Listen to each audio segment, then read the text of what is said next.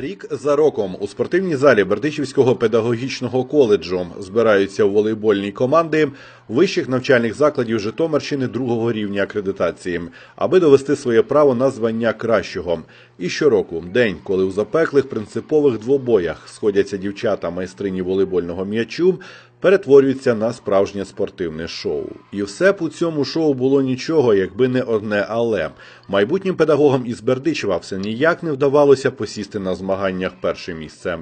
І налаштування, наче було, і серйозне тренування, і талантами дівчата не обділені, а не бажала фортуна розплистися їм у посмішці. І знову таки той самий день. До Бердичева приїхали чотири потужні команди: Коростишівського педколеджу та Житомирянки, з фармацевтичного коледжу, торгівельно-економічного та кооперативного коледжу бізнесу і права. Їм і мали протистояти вихованки нашого Богдана Антонюка. Звичайно, дівчат потрібно було налаштовувати на кожну гру, щоб вони не розслаблялися, щоб не допустити ніяких е, помилок у грі. З першої гри дівчатам сказав, що давайте налаштовуємося на кожну гру і лише на перемогу. Дуже велику роль зіграла наша підтримка команди, яка була.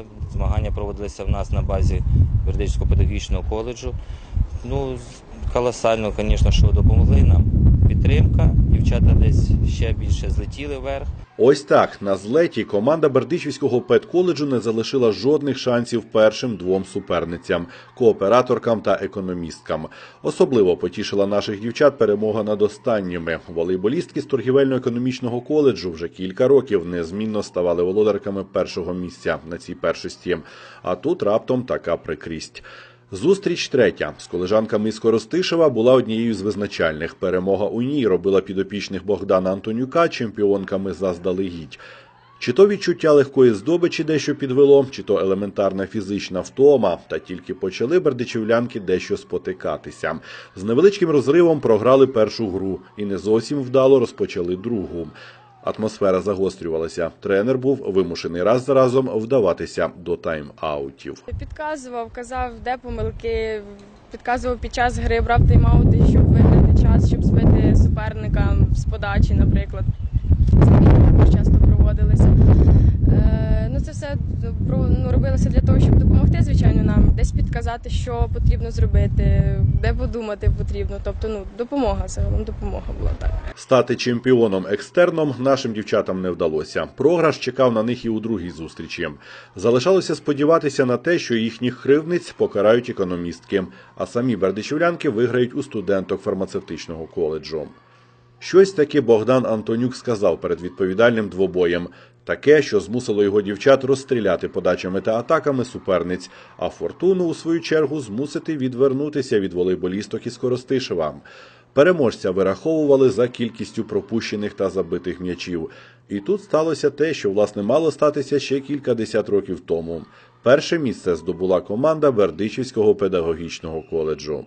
Сказати, що вони раділи, діляться у ній, це не сказати нічого. А все чому?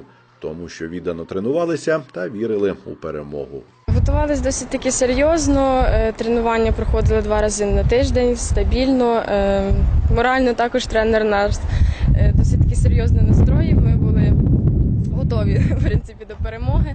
Але шкода, що мало в нас ну, практики тренувальної, адже житомирським командам було легше, тому що вони е, проводять між собою багато різних зустрічей, і у них більш ігрова практика. У нас такої практики, на жаль, не було.